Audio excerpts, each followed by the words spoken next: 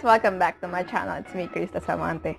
For today's vlog, gagawa tayo ng makeup transformation. Simple lang naman, since hindi ko naman nagagamit na yung mga makeup ko 4 months ago. Yeah, tagal na, no, since nakababa kami from cruise. Cruise. cruise maarte siya. Cruise. So, oh, don't forget to subscribe, like, and share my video.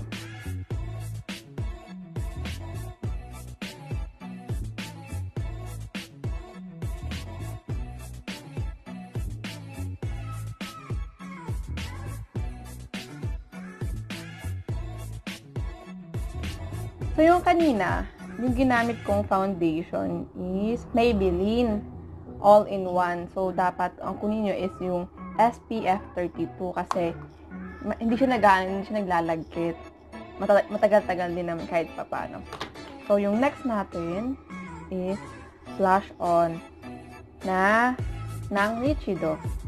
Meron siyang um, different kinds of color. So, ang piliin nyo is yung tomato tomato. Ayan. So, yun siya. Since ginagamit ko sa bar ko para magmukha akong ano, pinkish. So, ayan. Start tayo.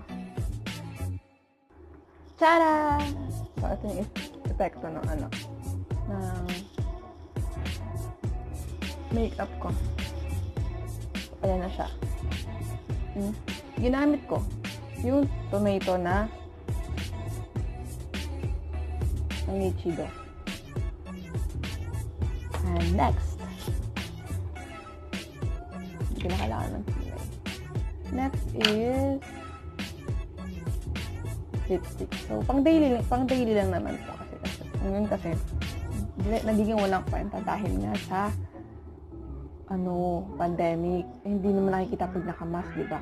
So, bakit hindi mag, ano, mag, mag, tawag doon, huwag na mag-makeup pala kung naka-face mask. Hindi naman din makikita. So, ayun. Ang gagamitin natin lipstick is, may dalawa akong lipstick. Eto, matte. Matte naman din tong isa. Matte liquid. Ah, yung isa ko is Korean eh. Walang, ano, bigay lang sa, sa akin ng auntie ko. And yung isa is Vice Volume. Volume nito. Ah, Phenomenal Matte Liquid Lipstick ni Vice. Ang name niya is Star. So, um, dark kasi to eh. Pangit naman sa mukha ko. So, bakit hindi tayo mag light dark? Light dark. Ito.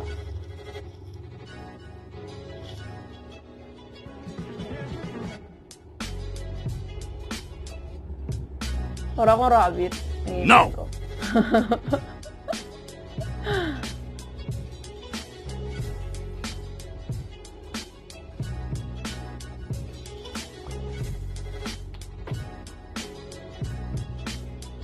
ko. Ayan. Huwag tayong mag-makeup. Ay, huwag tayong maglagay ng lipstick na makapal kasi magmumukha tayong pokpok te. So, dapat light lang. So, hindi dahil hindi pantay yung aking mukha sa aking leeg, okay lang yan. And next, ito. Eye mascara. Waterproof. So, hirap na hirap akong amburahin yung mascara ko tuwing tutulong na ako.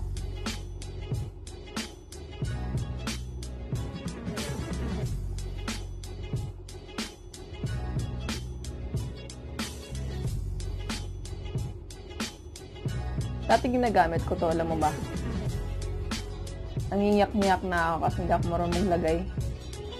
Kasi hindi ko naman kasi ginagamit to. Nagtuturo lang ako mag-makeup nung nag-HRM ako. Kasi bawal. Hindi ay, may langaw, besh! Hindi ko, Mama, may lamok. Ano ba tong bahay na to? May lamok. Kita pa sa camera photo bomber. Ayan, mangyak-ngyak ako nung Nasaan na? Kasi kami part 2 ng ano namin eh. Part ng personal ha- personal something yun. Yung kung ano sabi. Absent kasi ako nun. Pumasok lang ako nung ano na practical na. Practical exam. So, ayan. Ngayon, magugulat ang parents ko kung bakit naka-makeup ako. Kasi minsan, gumagawa ako ng vlog ko kapag tip ko lang. Supposed to be dapat, ano ko yung travel vlog.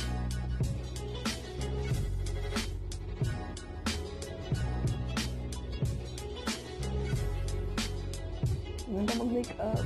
Hindi na ba makapal? Hindi ba? Inis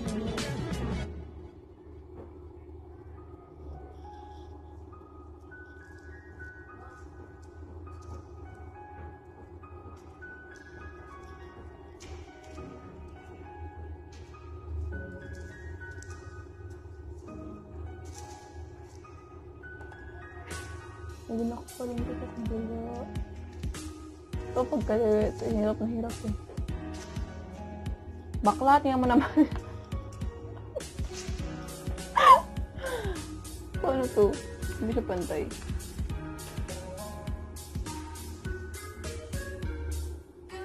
Hirap na hirap ako ah.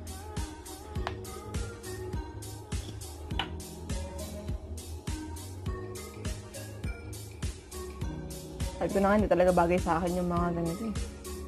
Makeup, makeup. So, ayoko na maglagay ng ano, ng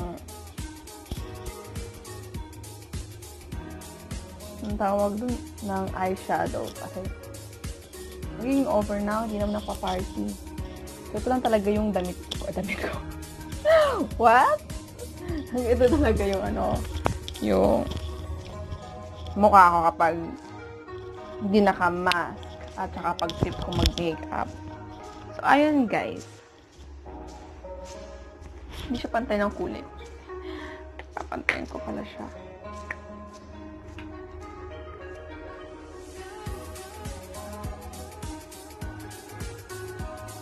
Hmm.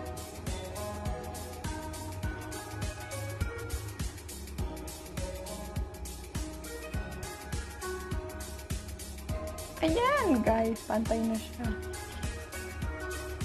Perfect. Ow. So, ayan.